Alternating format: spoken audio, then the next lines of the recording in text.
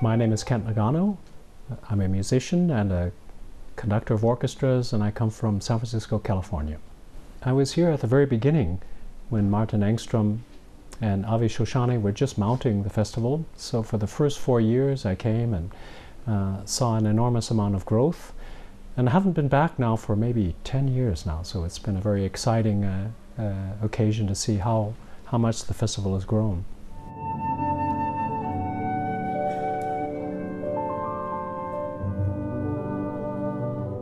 I grew up in a small town, a small village really, far, far away from any metropolitan center.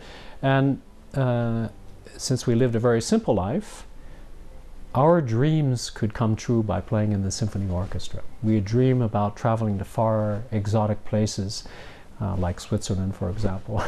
we dream about leaving the small village and, you know, uh, having romantic adventures, courageous adventures, um, brilliant exploration of our imagination, all of us little kids that belong to this uh, young symphony orchestra.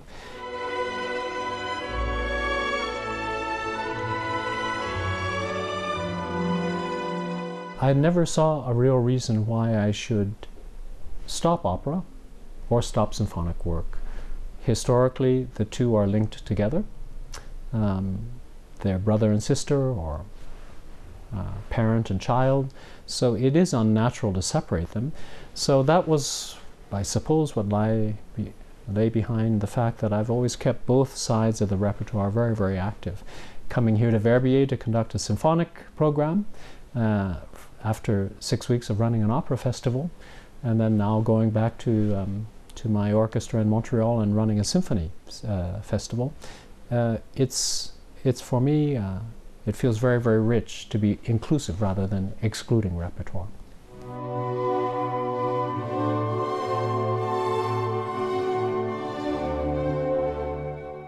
Every time we have auditions, the choice of talent that we have coming up is extraordinary. And I remember when I first auditioned to get into an orchestra, um, that's what the existing members of the orchestra also said that, oh my goodness, the, you youngsters coming in, you have so much more talent. I could never dream of that. And we see the same phenomenon now that today's young musicians are the highest educated, the technically most advanced, uh, the most experienced, uh, with the broadest um, perspective than we've ever had, I think, in all of musical history.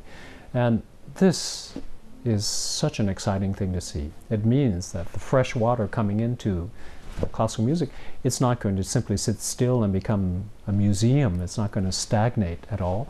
Of course, this fresh talent coming in brings ideas and energy, exactly what it is that we need to make sure that classical music will continue what it always has been.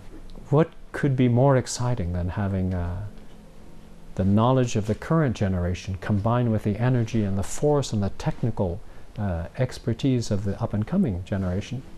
To me, I see, um, I see with all of this remarkable talent a great potential and a great promise that classical music is not only going to survive, but actually is going to flourish in the 21st century.